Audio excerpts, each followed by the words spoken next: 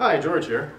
The purpose of this video is to simply go over through a basic humidification system that you might find on a mechanical ventilator that you're using in your health region that you work at. So the one I want to show you is this particular one. I'm not going to identify the name, but you'll probably be able to see it on the ventilator. But I simply want to show you how it all kind of comes together so that when you've got your external circuit or your patient circuit hooked up on the ventilator and you incorporate the humidification system into it, you can understand why the different cords go into the different spots and what the function of the different pieces are as well when you're connecting it up. And then if you understand it, you'll have no problems trying to figure out how to put it together if you're in a panic situation trying to put the patient circuit onto the, the ventilator prior to the patient use. You can do it safely. Now when you're handling this equipment, make sure you've got the appropriate PPE on as well, and make mm-hmm. sure that you're doing this in a clean area so that you're not introducing any kind of potential contaminant into the system. Now let's take a look at the equipment that we're dealing with right over here. The first thing I want to show you is the humidifier itself. Some of the things on this particular humidifier, on-off switch, a toggle switch to toggle between invasive ventilation and non-invasive ventilation, so you keep hitting this, I'll just simply toggle between the two, and the light will indicate whether it's set to invasive, invasive for like an endotracheal tube or a tracheotomy tube or something like that that's invasively inserted into the patient, or non-invasive if you're doing mask ventilation on your patient, non-invasive ventilation. Temperature screen right over here that shows you the temperature, and also the alarm silence. So in terms of all the functioning pieces of this that you have to set or control, you don't really have that many. It's just simply on, off, invasive versus non-invasive. Now on the side right over here, we've got these two ports. These are electrical ports for connecting the, the wires that we use to monitor temperature as well as to control temperature within the heated wires of the circuit, so they're specific. One's color-coded blue, one's color-coded yellow as well a little adapter or a slide on here that allows you to incorporate a bracket to hold this onto the ventilator itself. Power cord, so the humidifier has to be plugged in either into a, a power bar on the ventilator or directly into the wall outlet itself. This portion here, this is the heating plate. Okay, so this is kind of like a little heater or a little little hot plate that you might be familiar with. It just simply heats up the the uh, bottom of the the pot that holds the water. This little blue thing pushes down, so when you attach the humidifier pot to it, it just simply slides in and locks into place. To remove the pot that holds the water, simply push down on the blue thing and slide your device out.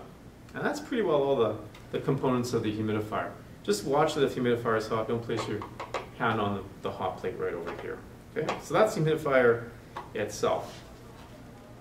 Now if we look at these cords, there's two different cords that are utilized with the type of circuit that functions with this type of humidifier. Now the first cord, it's a lot longer, and it's got these blue little probes on it. This cord here is specific for temperature detection. So it simply a, uh, has these probes on it, and the probes are used to read the internal temperature in the circuit at the patient end, as well as at the humidifier. So what the humidifier does is it monitors the patient, as, monitors the gas as the gas leaves the humidifier and travels to the patient end. And then it monitors the temperature by the patient wire right over here. So the whole function of this humidifier is to ensure that condensation doesn't occur, doesn't occur inside the circuit. Now the circuits are called heated wire circuits. And what that means is inside the circuit, there's a heated wire on the inspiratory limb as well as on the expiratory limb.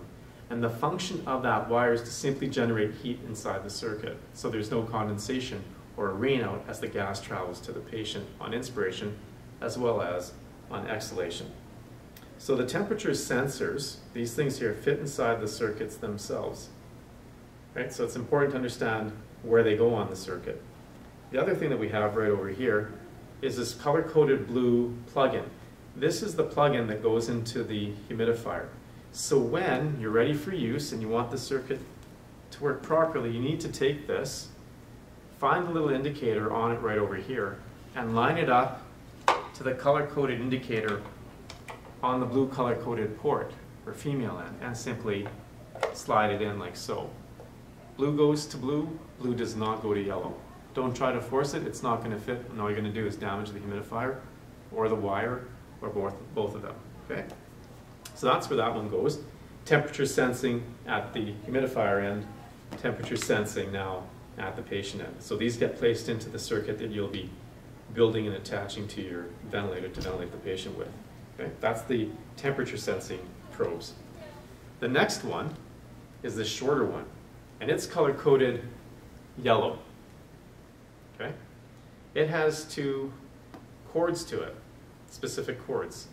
Now these cords plug into the back ends of your uh, circuit, your patient circuit, that are connected close, to, well one's connected by the humidifier, the other one is connected to the expiratory valve or the expiratory connection on the ventilator.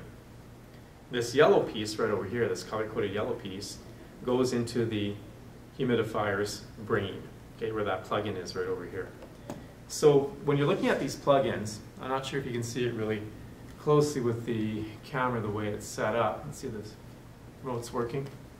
The one on my left hand is triangular in shape, and it's got three female ends inside of it. The one in my right hand, that's this hand here, it has two female ends, okay? The one with the three uh, female ends that's triangular in shape, this goes on the inspiratory circuit. The one that only has two prongs, or two uh, female ends, this one goes on to the expiratory circuit. So when you're hooking your ventilator up, make sure you've got the inspiratory limb by the humidifier. This one that's got the three probes goes into the humidifier, uh, goes into the circuit on the humidification end. This one goes onto the circuit, the expiratory limb, by the ventilator. Okay.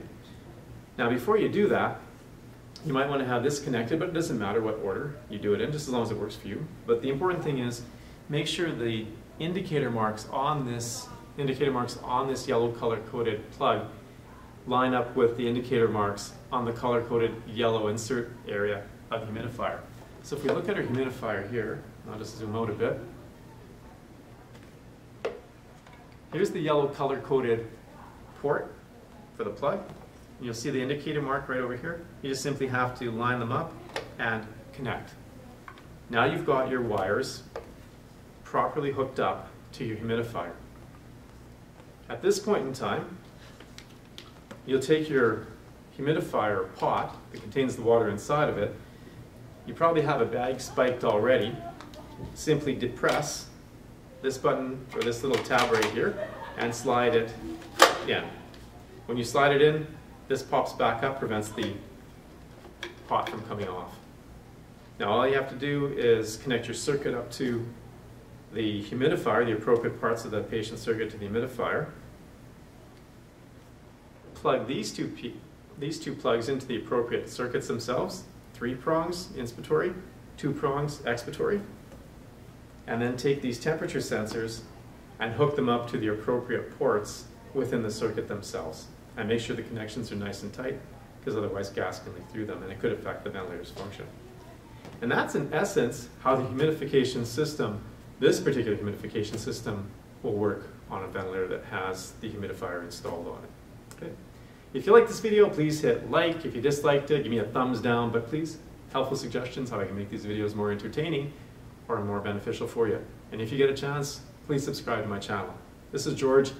Have a great day.